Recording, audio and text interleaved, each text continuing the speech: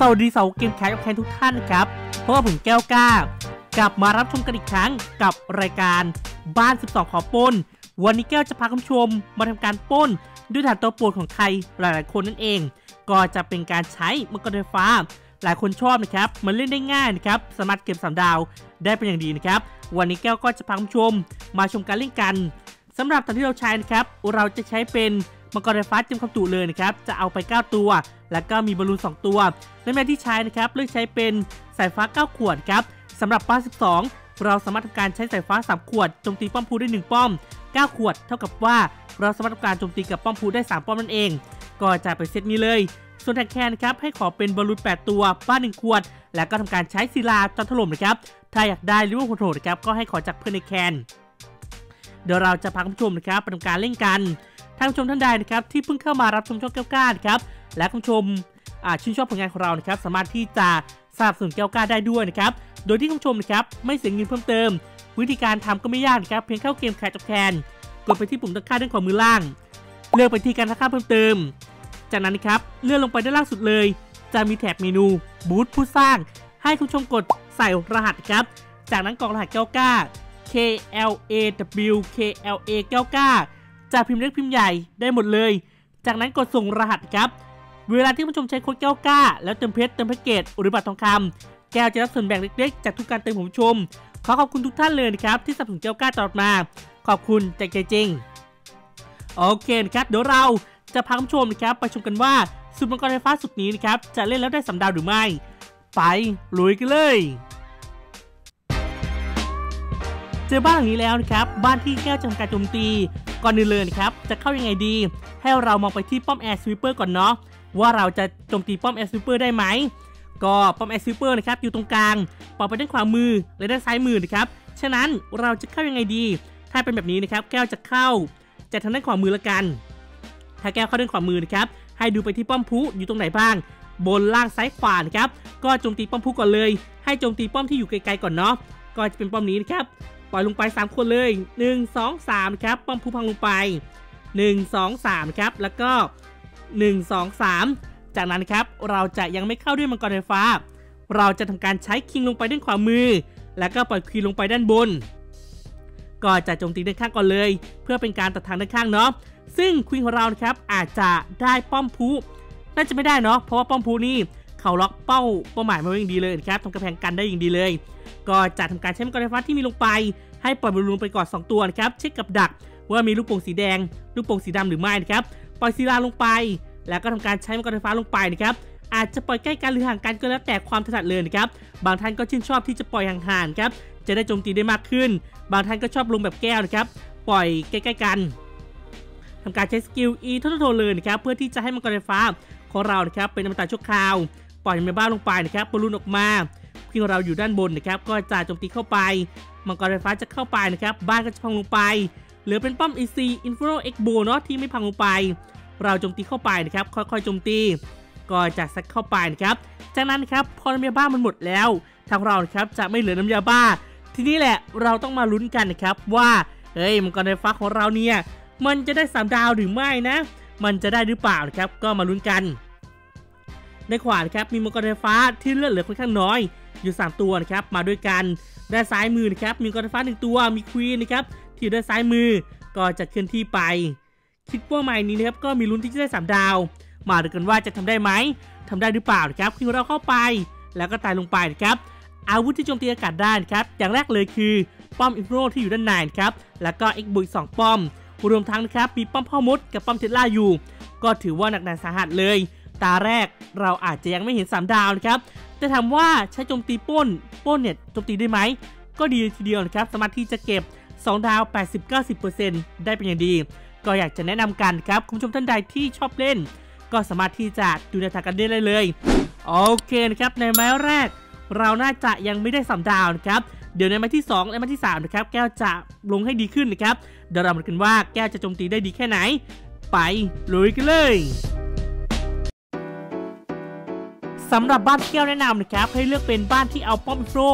ตั้งเป็น 5 เส้นนะครับ ถ้าได้ทั้ง 3 ป้อมก็ดีเลยนะครับ แต่ถ้าเป็นเส้นเดียวสักหนึ่งป้อมก็ไม่มีปัญหานะครับโจมตีได้เลย แล้วก็หาบ้านที่เอาอาวุธสิงโกซ่าครับไว้ใกล้ๆกันจะโจมตีได้ง่ายขึ้นนั่นเอง บ้านนี้นะครับจะเข้ายังไงดี แกเห็นว่าป้อมแอร์ซูเปอร์นะครับปอยไปด้านล่างกับด้านบน แล้วก็ป้อมพูนครับอยู่ด้าน4มุมเลย บนล่างซ้ายขวานะครับ เราทำการโจมตีด้านขวาก่อนเลย ก็สามารถที่จะโดนป้อมแอร์ซูเปอร์ได้ด้วยนะครับ 1 2 3นะครับ โอเค แล้วก็ตรงนี้นะครับ 1 2 3นะครับก็จะพังป้อมธนูได้ด้วย แล้วก็ด้านซ้ายนะครับแก้วทำการใช้เอาตรงนี้แล้วกัน 1 2 3นะครับก็จะพังได้นะครับแต่ว่าป้อม Air Sweeper ไม่พัง ฉะนั้นนะครับเราจะเข้าด้านซ้ายมือ ก็ให้ปล่อยทางฝั่งของ King นะครับลงไปด้านซ้ายมือเลย แล้วก็ปล่อย Queen ที่มีนะครับลงไปด้านขวามือ ก็จะตัดทางด้านข้างก่อนเลยนะครับจากนั้นเราเราทำการเข้านะครับการใช้มังกรไฟฟ้า ก็ให้ปล่อยบอลลูนที่มีนะครับลงไป 2 ตัว ศิลาลงไปนะครับมังกรไฟฟ้าลงไป ก็ลงไปให้หมดเลยนะครับ แล้วก็ปล่อยปู่เดนลงไปจะทำการใช้น้ำยาบ้าเลยไหม ก็แล้วแต่นะครับว่าจะใช้เลยหรือเปล่า อาจจะยังไม่ต้องใช้ก็ได้เนาะ แก้วคิดว่าจังหวะนี้นะครับทางเราเข้าไปด้านในใช้น้ำยาบ้าเข้าไปเลย ปู่เดนของเราเข้าไปนะครับใช้ skill Eternal Tome เลย แล้วก็ปล่อยน้ำยาบ้าลงไปนะครับเพื่อที่จะให้บอลลูนเข้าไปด้านใน มังกรไฟฟ้าของเราเข้าไปด้านในแล้วนะครับ มารับชมกันว่าแก้วจะเก็บสามดาวได้หรือไม่ บอลลูนเจอทอร์นาโดนะครับ หมุนติวติวติวติวเลย ก็จะเคลื่อนที่ไปด้านในนั่นเอง จากนั้นมังกรไฟฟ้านะครับจะเข้าไป บ้านยังไม่พังลงไปนะครับ ป้อมอินทรีก็ยังไม่พังลงไป และบ้านพังลงไปนะครับ ปู่เดนตายลงไป เหลือเป็นป้อม Inferno ห้าเส้นอยู่ 1 ป้อมนะครับ ด้านขวามือมีมังกรไฟฟ้าอยู่ 3 ตัว ด้านบนนะครับ มีอยู่ประมาณ 3 ตัว เราน่าจะได้3ดาวนะครับ คือสูตรนี้นะครับเป็นสูตรมังกรไฟฟ้า ถ้าเราพอจับจุดได้นะครับว่าเราควรจะลงตรงไหนนะครับ หรือเราสามารถที่จะเลือกบ้านถูกต้องได้ มันจะทำการเก็บสำดาวได้ง่ายมากๆเลย และใช้เวลาที่ไม่นานนะครับแป๊บเดียวก็โจมตีเสร็จเลย แต่ดูเหมือนว่ามังกรไฟฟ้าของเรานะครับจะตายลงไปนะครับทั้งด้านในแก้วสาห์โมนครับว่าจะได้สามดาว มาดูกันว่าจะทำได้ไหมทำได้หรือเปล่ามังกรไฟฟ้าอยู่ด้านล่างนะครับสักเข้าไป ก็เหลือเป็นปูวเดนนะครับที่โจมตีอากาศได้ ก็จะสักเข้าไปนะครับด้านบนมีมังกรไฟฟ้าอยู่เหมือนกัน ด้านล่างครับมังกรไฟฟ้าของเราเกือบตายลงไปแล้ว ถ้าเจอกับลูกโป่งสีดำถือว่าซิ่งแง่แก่เลย ก็จะดูกันต่อไปนะครับว่าจะเป็นเช่นไรแต่เวลาก็จะหมดนะครับแก้วโมวแต่อธิบายนะครับตอนต้น ก็เลยทำให้กินเวลานะครับฉะนั้นนะครับถ้าคุณผู้ชมจะเล่นพอพอเวลามันนับถอยหลัง 30 วิใช่ไหมใกล้ๆศูนย์วินะครับคุณผู้ชมให้ให้คุณผู้ชมนะครับรีบลงฐานเลย ก็ให้ลงฐานไวๆเลยนะครับจะได้ไม่พลาดครับไม่ได้ 2 ดาว 99%นั่นเอง ถ้าเราจะเข้าไปกันครับไม่ว่าจะมังกรไฟฟ้านครับด้านขวาด้านซ้ายนะครับเข้าไป เราได้มา 2 ดาว 98%นะครับหลือ2สิ่งก่อสร้างสุดท้ายมังกรไฟฟ้านะครับจะเคลื่อนที่ช้ามากๆเลย กว่าจะไปถึงนะครับก็ใช้เวลานานพอสมควร และเรานะครับก็เก็บมาได้ 3 ดาว 100%เต็ม นี่คือความโหดของของสูตรมังกรไฟฟ้านะครับที่อยากจะมาฝากกัน เดี๋ยวเราครับไปชมอีกหนึ่งตาเนาะ ตาสุดท้ายนะครับไปดูกันว่าแก้วจะโจมตียังไงกับการใช้สูตรมังกรไฟฟ้า 9 ตัวในเม็ดสายฟ้าไป 9 ขวดนะครับ เดี๋ยวเราไปลุยกันเลย มาชมการโจมตีมาสุดท้ายดีกว่านะครับ เจ้าบ้านหลังนี้นะครับ ก็เห็นว่าน่าสนใจดีนะครับ เป็นบ้านที่เอาทรัพยากรนะครับไว้ใกล้ๆกัน แก้วก็อยากจะโจมตีให้ชมกันนะครับ โดยเราจะเข้ายังไงดี ดูเหมือนว่าป้อม Inferno ครับจะเป็นเส้นเดียวสองป้อม แก้วไม่แนะนำให้โจมตีเลยนะครับ ถ้าไม่มั่นใจนะครับจะโจมตีเลย เราไม่มีน้ำยาแช่แข็งไปแช่ป้อม Inferno นั่นเอง ก็จะทำการใช้สายฟ้าที่มีรับลงไปที่ป้อมพลุที่อยู่ไกลที่สุดเลยนะครับ ก็จะปล่อยลงไป 1 2 3นะครับโดนป้อม Air Sweeper ด้วย แล้วก็ตรงนี้นะครับ 1 2 3 แล้วก็จะปล่อยตรงนี้นะครับ 1 2 3 โอเคนะครับ จากนั้นทำการใช้คิงที่มีนะครับลงไปด้านขวามือ ปล่อยควีนนะครับลงไปด้านซ้ายมือ ก็จะทำการโจมตีบริเวณด้านซ้ายด้านขวาก่อนเลย แล้วก็จะทำการใช้ทางฝั่งของบอลลูนที่มีนะครับลงไปก่อนนะครับทางด้านใน แล้วก็ปล่อยศิลาลงไปนะครับ ปล่อยของกระไฟฟ้าลงไปใกล้จะปล่อยห่างๆหน่อยเนาะ แล้วก็ปล่อยปู่เดนลงไปนะครับทำการใช้น้ำยาบ้าดีไหม คิดว่ายังไม่ต้องใช้เนาะรอให้ศิลานะครับมันแตกออกมาก่อน ก็ปล่อยน้ำยาบ้าลงไป บอลลูนจะเคลื่อนที่ไปด้านในนะครับแก้วจะทำการใช้ skill Eternal Tome เลย ถ้าเราจะเป็นอมตะชั่วคราวนะครับ ก็จะ ทำการใช้น้ำยาบ้าอีกทีนะครับ เมื่อมังกรไฟฟ้าเข้าไปด้านใน มันจะโจมตีได้แรงขึ้นนั่นเอง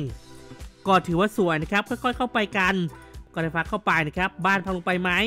ก็อยากจะให้พังลงไปนะ แต่ว่าอย่างที่แก้วบอกไปนะครับว่าป้อมอินฟลูเส้นเดียวนะครับ มันแสบแสบมากๆเลยนะครับ ยิ่งถ้ามันอยู่ห่างๆจากบ้านครับ แล้วเราเข้าด้านที่ไกลกว่านะครับ กว่าจะไปถึงป้อมอินฟลูเส้นเดียว มันดูดเลือดนะครับมังกรไฟฟ้าตายลงไปสองสามตัวเลยนะครับ ทำให้บางทีนะครับอาจจะไม่โอเค